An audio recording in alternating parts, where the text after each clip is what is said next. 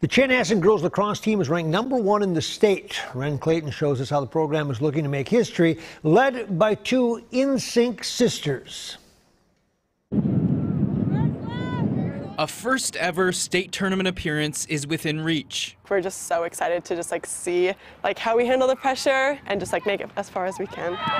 The Storm have enjoyed a dominant season, losing just once. As sections begin, the goal is not just to get there. We have a broader vision, obviously going to the championship, but we just we have to be where our feet are. Now, because of this scheduled turf replacement project here at Chanhassen, the Storm only played three home games all season. It's disappointing. I mean, our last game there was a little emotional for everyone. Chanhassen is the one seed in Section 2. Normally that means home field advantage. Instead, they'll host from Chaska. Because we've had so many away games, I feel like it's just prepared us that we can go into any environment and win. A big part, one of the top offensive threats in Minnesota, plus the Storm's best defensive player, each sharing a last name. Leah and Siri Hodgins also share a birthday. They'll just do something that we're like, all of us be like, a twin moment. I wouldn't say we're always like the most like sympathetic towards each other's feelings. We just kind of like lay it all out on the field, but I think that's like what works best for us is being hard on each other. Next year, the twins will play lacrosse at Boston University. It just kind of worked out that every school we talked to wanted both of us